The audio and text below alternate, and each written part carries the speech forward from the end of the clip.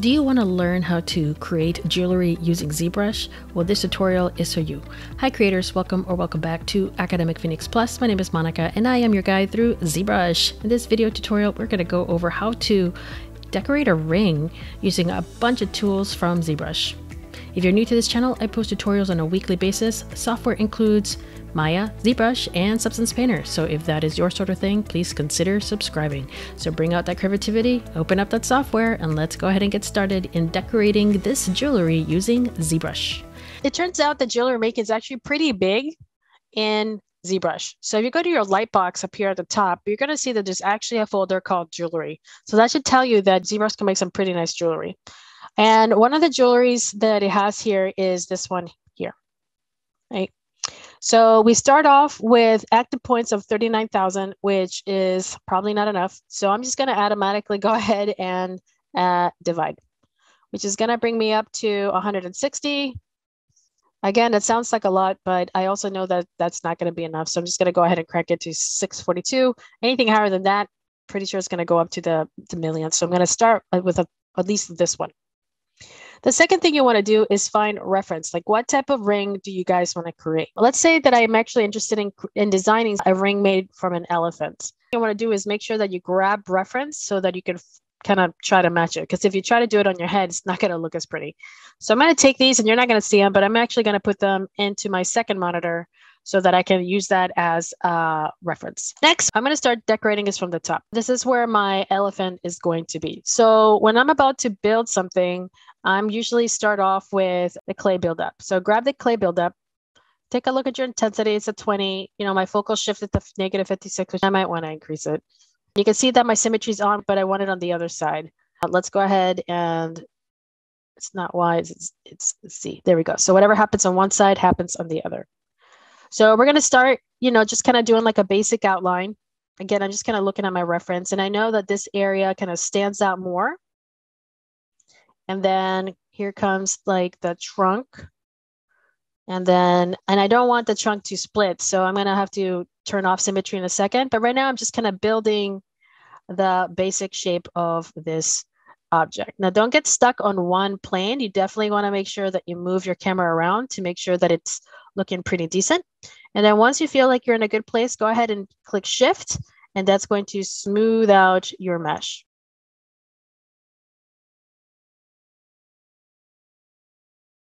And then smooth it out.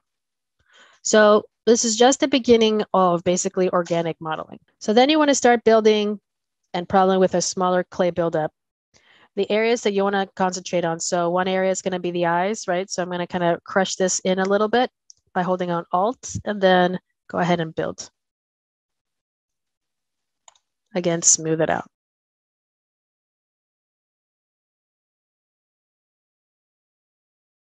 All right, so let's say I want to create the horns. So I am going to kind of build a big chunk right here.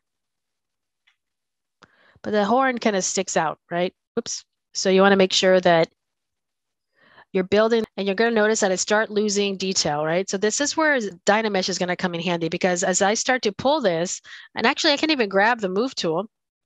So again, you can click on the letter B, which is activates your brush, M for move, try to find the move, which is V, and then you get the tool. Eventually you get really good at that. So you can actually take this and just kind of pull it out, but the quality of the mesh starts to drop. But let me just kind of get it going right now. And then I could try smoothing it out. But the details start to disappear. So that's something that we need to work on when it comes to Dynamesh. Let me get back my clay buildup because I want to bring this up more.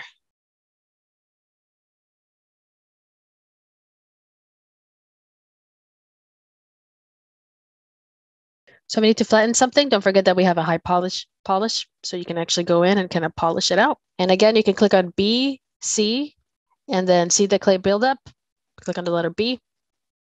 Eventually you'll memorize those because you've done the shortcuts so often that you'll be like,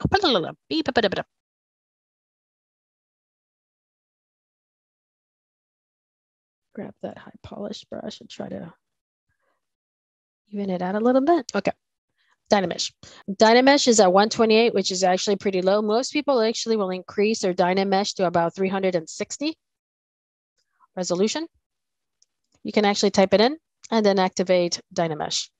And you'll notice that the details remained, but now it's even. The amount of information on the detail on the ring is now even. So that means that this section here is going to be a lot nicer and cleaner.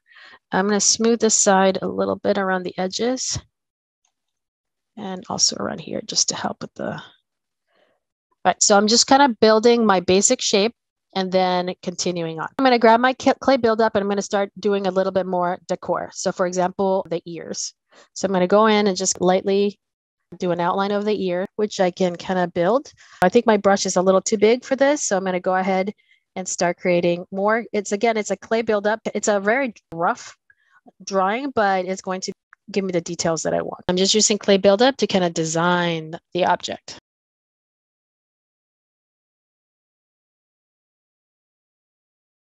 And I might increase the depth, the intensity a little bit more because I do want this to rise.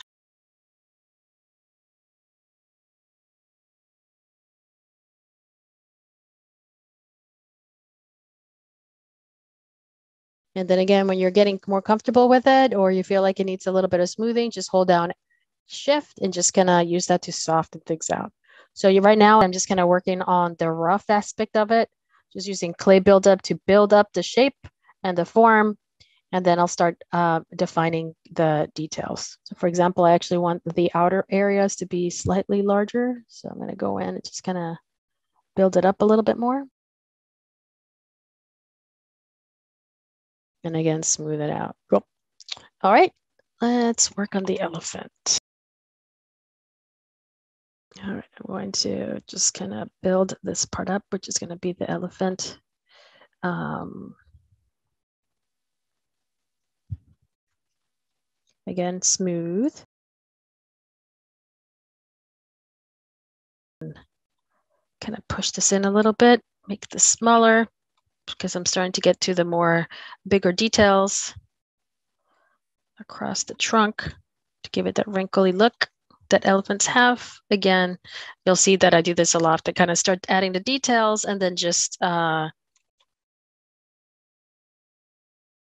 going in and just kind of calming down the colors a little bit. All right, so now that we're getting into the details, let's go ahead and start adding a little bit more texture onto this. So what we could do is grab the dam standard.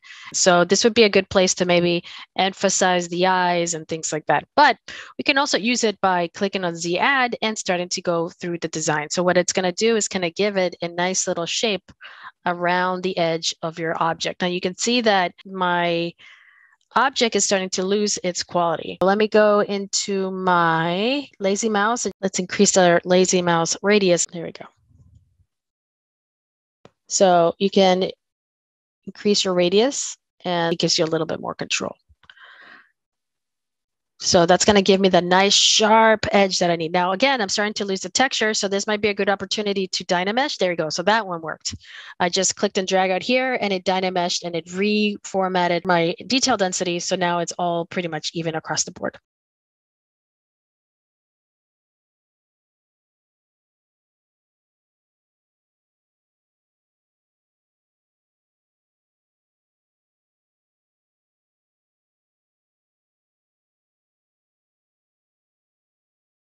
This point, I'm just having fun.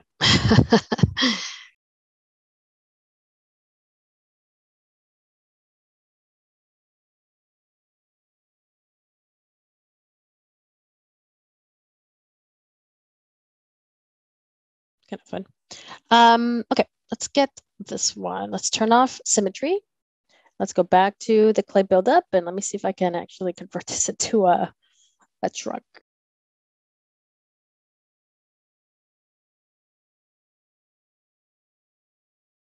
So I'm hitting spacebar to get the size, right? So I can kind of go back and forth.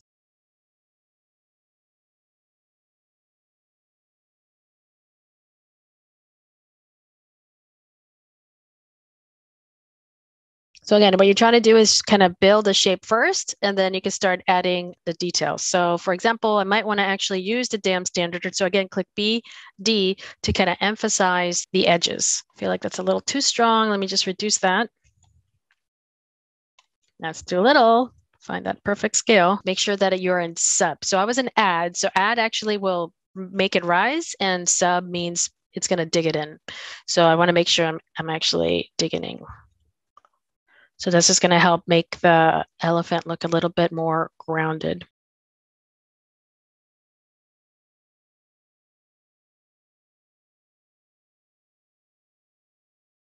All right, something like that. Maybe take the high polish, fix that a tiny bit, even it out a little bit. Kind of made into an aquatic looking elephant because it looks starting to look like scales, but it's kind of fun. And let me see, I'm going to pinch. So again, you can type in P and there's pinch, and you can kind of pinch this so that it kind of looks, that groove doesn't look as large let's go ahead and start working on some of the designing on the sides. Right now, it's looking pretty plain. I want to design stuff, but don't forget whatever happens on one side should happen on the other. But we really haven't talked about too much is about radials. So let's try why. The nice thing about radials is that it's going to go around and whenever I des- design something, it will continue to design it. Now, unfortunately, it's also going over my trunk. So that's not really going to work. It might have been a better idea for me to get started on working on this design first on the, on the side and then work on this part. Let me use a dam standard. I'm going to increase my intensity and I'll just design around here. We can just kind of do some decor.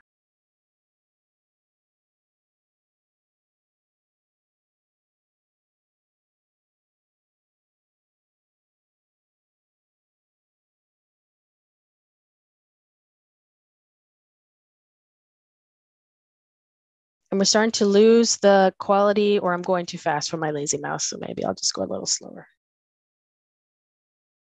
And again, you can use the pinch, click on the letter P, and you can pinch these together. Whoa, that's strong. If you want to build on it, you can use the clay buildup, you know, create more decorations. You can go ahead and just kind of use clay buildup and you can build it up.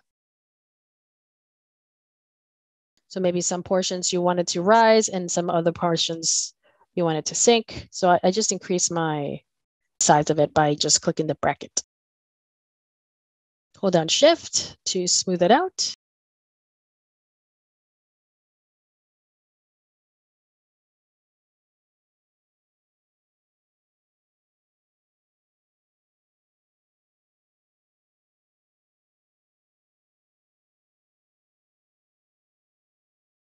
Bring out the dam standard and you can start getting some finer details who that intensity is.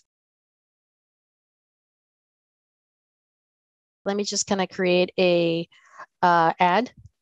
So again, with the add, you can add this really nice point to it.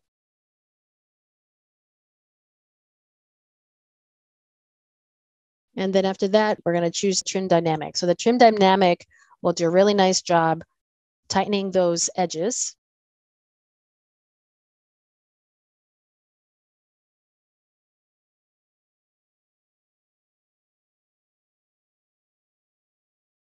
And we've talked about it before, but the trim dynamic doesn't preserve edges.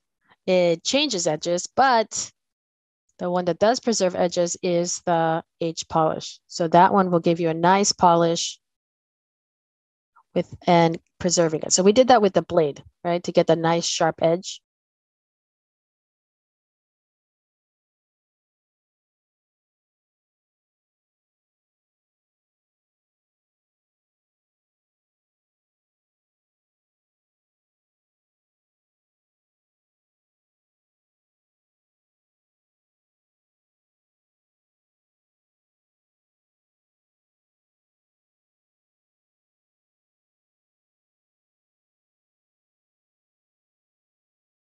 So at the end, you just want to make sure that um, you have some fun with it, right? Enjoy the decoration.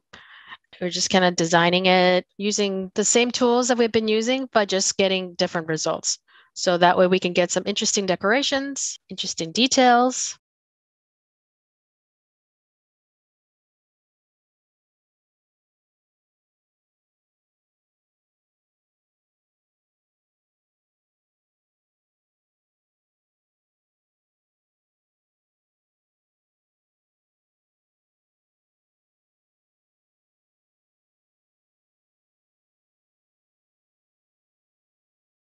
All right. Hopefully that gives you an idea of the different types of techniques that you could use to create a decorative object. So clay buildup will help you kind of start modeling it. Dam standard will give you more pointed edges, or maybe you might want to, you know, push them in depending on the style that you're looking for. It's actually really a great brush because you can create some really nice designs to it. There are ways to kind of make it look like it's beaten up by using a trim dynamic and that will kind of give it like a beaten up texture. I think we did that with the axe where we just kind of pounded it in. This kind of helps give it a little bit more texture to your ring, right? So you can see that this side's looking a little bit more banged up, which gives it an interesting look as well. You can also use a dam standard again to just kind of create some more decor. So again, I feel like that's too strong and my lazy mouse is too strong too. There we go. So you can do some, you know, simple designs if you want.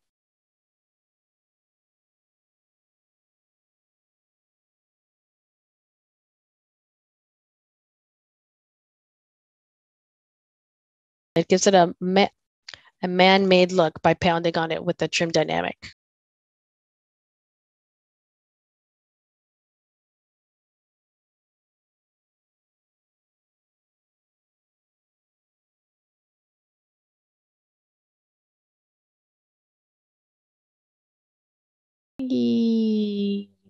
Decorations.